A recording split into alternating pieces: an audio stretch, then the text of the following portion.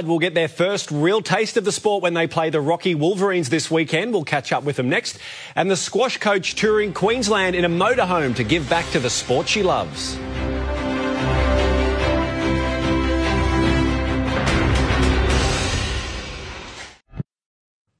Welcome back to 7 News.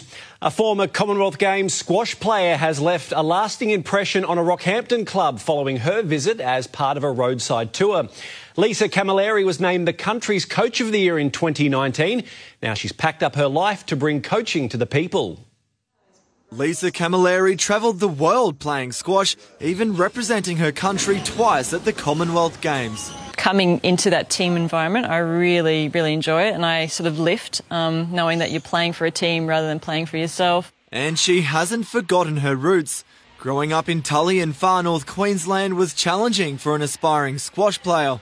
There wasn't an elite coach in town, so we sort of travelled either to Townsville and Mackay. Now Lisa's on a tour through regional Queensland with her young family to provide opportunities she missed out on. Really, we're just taking coaching to the people and, and trying to improve their game. Rockhampton was the latest stop on her tour, where she spent hours working with players at the Scottvale Squash Centre.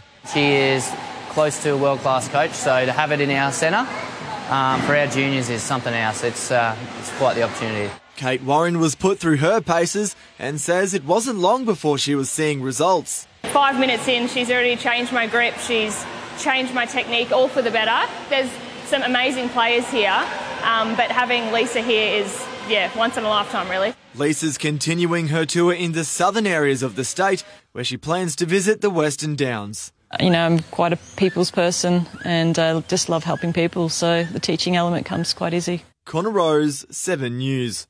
Former